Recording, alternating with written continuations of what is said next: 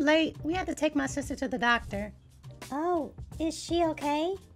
Yeah, she had um a pain crisis. She has sickle cell disease. Yikes. That sounds dangerous. Can you catch it? No, I mean it's not contagious, but you know I try to eat healthy, exercise, and you know stay away from things and people that annoy me because I don't want to develop it. Oh, I need to start doing that then. Yeah, like, what? what so do I- what's Hold, the other hold, hold up, hold up. That's not how you get sickle cell disease. It just it has to do with your parents. They must have the trait, just like I do. OMG. Are you okay? How are you feeling? I'm I'm literally fine. So do I have it? Oh my goodness, I need to start living my life differently. Like I can't. Okay, well, what causes this disease anyway? Well, your blood cells have a protein called alpha hemoglobin, and it's responsible for carrying oxygen. But the way that they bond together affects the shape of your red blood cells. But if your cells have beta hemoglobin, they form long rods and cause those cells to form hook like blood cells, sickle shaped. These cells can jam blood vessels and cause the issues that are presented in sickle cell disease. Um. Okay. So how did my sister get this beta hemoglobin or whatever? Well, her DNA ordered it. What? Excuse me? Yep. Her DNA ordered her cells to make that beta hemoglobin. Well, that's not fair. so, how did Abeni get alpha hemoglobin? Well, her DNA ordered alpha hemoglobin to be made. I'm not worthy. I'm pretty sure it's not that simple.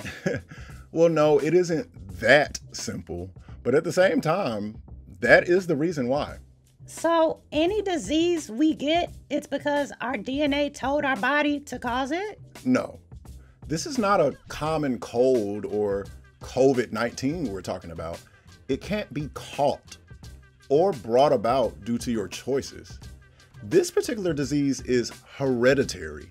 She was born with it, just like she was born with brown eyes, beautiful kinky hair, and also she was born with beta hemoglobin. Everything that is physical about us comes from our DNA. The color of our skin, eyes, hair texture, these are called traits. These traits are coded for by genes, segments or sections of DNA that code for a trait. And every gene is expressed or shown by a protein. If your skin is darker, your DNA didn't just code for some sort of brown paint. It coded for a protein called melanin. And maybe for someone else, it coded for less of it or more of it.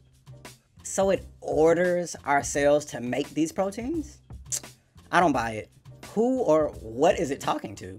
It's talking to its very close cousin, RNA. RNA? Yep, RNA. Her hair is curly because DNA told RNA to go help make the protein keratin. And that's what it does. Well, oh, I don't like this already. I'm gonna get RNA and DNA confused. Well, they are similar. DNA and RNA are both found in all living things. And if we were to look at their full names, Well, that's long. they are both Nucleic acids. composed of nucleotides. What are those? Oh, it's monomer. We learned that in biology two years ago. So, why y'all still in it? Um, a, a nucleotide consists of a phosphate, a five carbon sugar, and a nitrogenous base. Oh, cool. Well, they have a lot in common, so I guess this should be easy to remember. If they have all of that in common, why do they have different names though? Y- yeah, y'all didn't let me get to the differences. So, in that nucleotide, the five carbon sugar is different between them. Deoxyribose in DNA and just ribose for RNA. What else do you notice that's different about the entire structure? Um, RNA is single stranded and DNA is double stranded. Yep, that's another difference. That double helix in DNA was discovered by Rosalind Franklin. Learn more about her. But now, where is DNA found? Oh, in the nucleus. Yep, and RNA is found in the cytoplasm of the cell. Okay, well, my question still remains. You're making it seem like DNA is talking to RNA, and I know these things don't talk, nor do they have faces. So, how the heck is DNA telling RNA anything? Okay, I, I just wanted to make it simpler for y'all. Okay, DNA is not telling RNA, "Hey, go make beta hemoglobin." What it's really saying is, "To go cats, Come again? Um, excuse me? to cats." Oh Lord, he having a stroke. I saw something like this on TV. okay. It deals with one final difference. Yes, DNA and RNA both have nucleotides with different five carbon sugars, but they also have a different arrangement of their nitrogenous bases. The bases pair up and bond with each other in DNA, like this. Adenine goes with thymine, and cytosine goes with guanine. You can remember it by mm, apples in the tree, cars in the garage. But for RNA, they all have the same bases except. Oh, there's like a U right there instead of the T. Absolutely. So instead of thymine, RNA has a base called uracil. These bases on DNA and RNA are the codes on our genes that do all of the talking. The way that they pair up and bond together help to explain how our DNA is replicated so that RNA can be transcribed and that message can be translated into a protein. This process is called protein synthesis. Let's start. So, in the last lesson when we talked about the DNA being copied in cell division, like interphase, is that DNA replication? It sure is.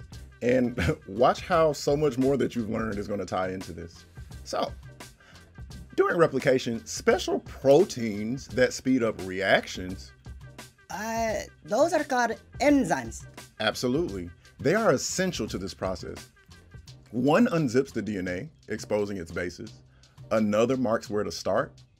And a special enzyme, DNA polymerase, adds the complementary bases to complete a new copied strand. Fill in these bases for me since you should know what they would be. Okay, um, so this should be A C T C C T G T G G A G. Ha, gag. Excellent. Now, believe it or not, during this time, RNA is being made right near here. An enzyme, RNA polymerase, reads the bases from DNA and transcribes this message into RNA, messenger RNA. So, can you all give me the RNA strand for this DNA? Uh, let me see. Uh, okay. A C. Uh, wait. What do we put with A if RNA doesn't have thymine? Well, I mean, what does RNA have instead of thymine? Oh yeah, uh, uracil. Oh yeah, man. Okay, so it's gonna be ACU, CCU, GUG, GAG.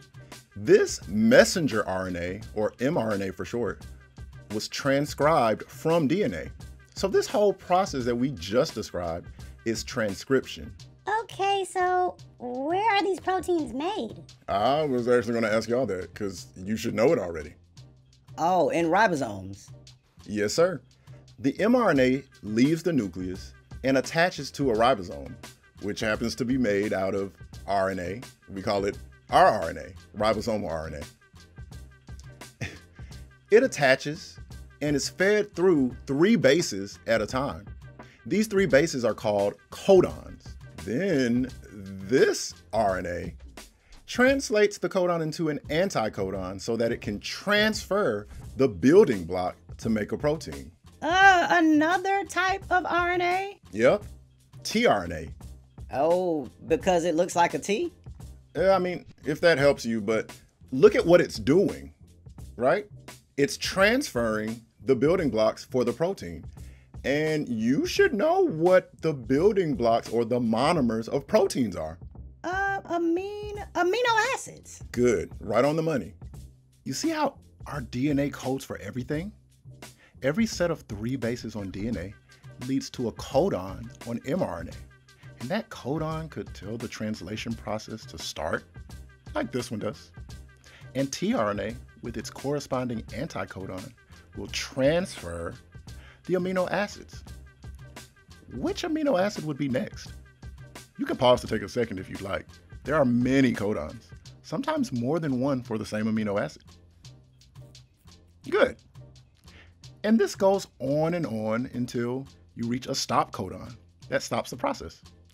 And then you have. Ah, a protein. Yes, sir, exactly. Okay, and this is happening every time a protein has to be made. That's a lot. Well, it's it's happening all over your body right now, and it has been doing that since you were conceived. Okay, well, what protein did that gene make? Well, the protein that was just translated, that's beta hemoglobin, the protein that causes blood cells to be sickled, like in sickle cell anemia. Whoa, well, well I want to see the sequence for uh, alpha hemoglobin. That's the normal shape one, right? Sure. Here it is.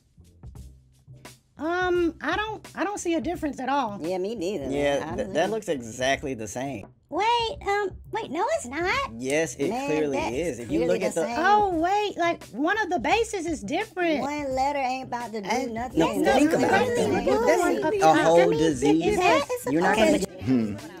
Do you see the difference? Stay tuned to figure it out. One You see not it right there. It wouldn't It need to don't be a make Have you seen- different No, because that would cause a not how it Like works. there was-